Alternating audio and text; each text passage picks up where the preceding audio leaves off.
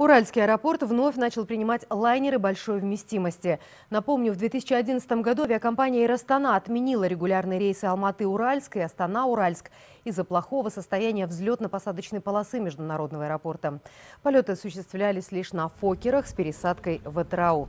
В сентябре прошлого года началась реконструкция полосы. На эти работы из госбюджета направили более 6 миллиардов тенге. В ноябре рейсы были возобновлены, а после почти четырехлетнего перерыва здесь совершил посадку самолет Embraer 190 вместимостью 98 человек. Сегодня состоянием взлетной полосы ознакомился заместитель председателя Комитета гражданской авиации Министерства по инвестициям и развитию Серик Мухтыбаев. По его словам, также в этом году собственник аэропорта планирует начать ремонт рулежных дорожек, терминала и перрона.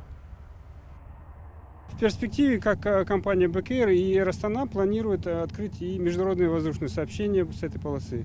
Вот тот вопрос, который постоянно будируется, значит, э, касательно покрытия полосы, вы сейчас на нем стоите, вы можете прощупать, это бетон.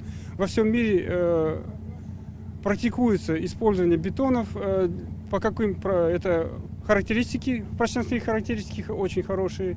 Э, по температурным режимам и, естественно, долговечность. То есть э, эта полоса может эксплуатироваться в течение 15-20 лет. Второй этап, значит, под собой подразумевает удлинение э, существующей взлетно-посадочной полосы еще на 400 метров и уширение ее до 45 метров. Это будет бетонная полоса.